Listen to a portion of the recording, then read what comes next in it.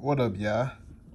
Welcome to the video, man. Y'all coming in, y'all smash that like button and subscribe to the channel if you ain't already subscribed. Now, man, I ran across this news on Instagram. Jermell Charlo posted a fight poster with him and Canelo and says undisputed versus undisputed.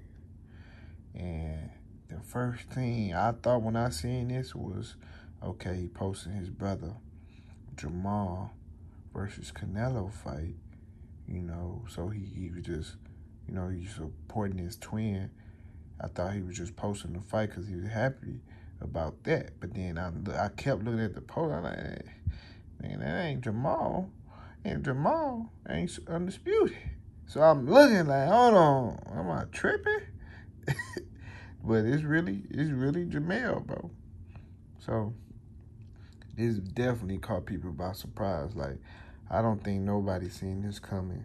Um, Jermell Charlo versus Canelo Alvarez, man. Uh, I gotta say congratulations to Jermell Charlo for for getting this fight. First of all, because if anybody deserve it, he definitely deserve it. Because he didn't clean up the whole 154.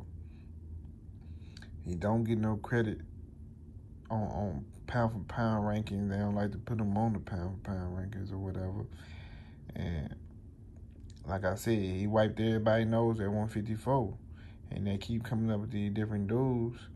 And, and, and it's getting to the point where he defending and he defending, he defending.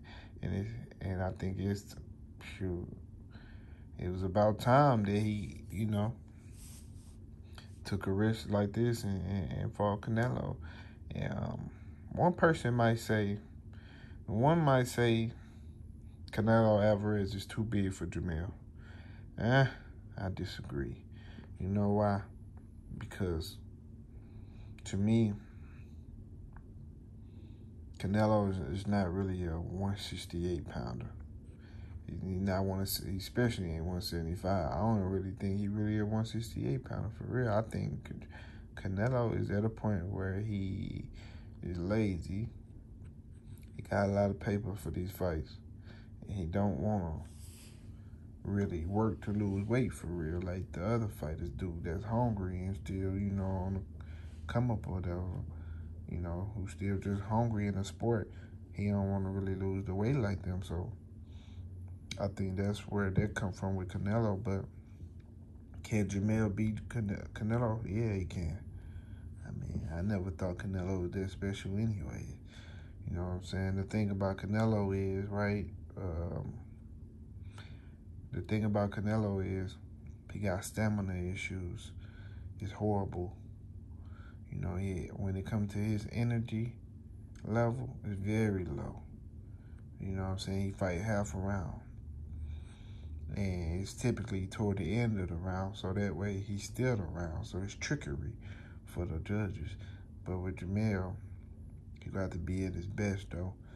You got to be at his best. What Jermell possesses that give Canelo problems is obviously the footwork. You know, um, he can dance. like he stated before. He said he can't sing, but he can dance. So Jermell Charlo got the footwork. He gonna be, especially if he coming up. I, am not sure what weight class it's gonna be at. I heard he coming up two weight classes, so he may be going to 168. But I think they should have should met somewhere. But if Jermell want to take his go for his belts up there, then I, I, I ain't mad at it. I, it just sound like greatness to me. You know what I'm saying? On Jermell behalf. Canelo sound like he dusted David Benavidez to me, but hey, that's another story. Um, Jamal, when it comes to Jamal, sure, I don't know, man. I think he should go ahead and fight Demetrius Andrade then. Fight Demetrius Andrade, whoop him, then, you know, and plus he just came back and no excuses. We don't really you know what I'm saying? When it comes to not saying he was gonna lose, I feel like he had a good chance to beat Canelo, but I'm just saying like the excuses thing or whatever. I don't know. But this caught me by surprise. I'm really still surprised as I speak. Like, damn, it's crazy. It's, hey man, And then the crazy thing is, if he can pull it off, shit, that nigga, he definitely the shit. You feel me? Like, he definitely him.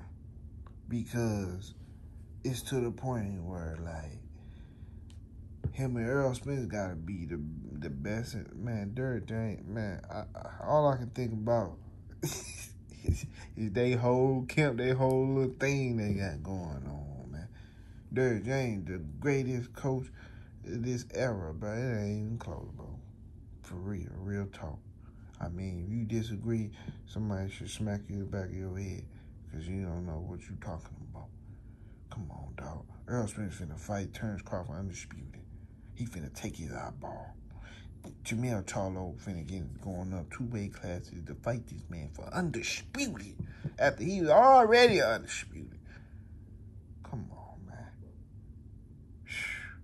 Come on, dog. This, just, this just, this, this don't get no better than that. I'm talking about now this, this right here.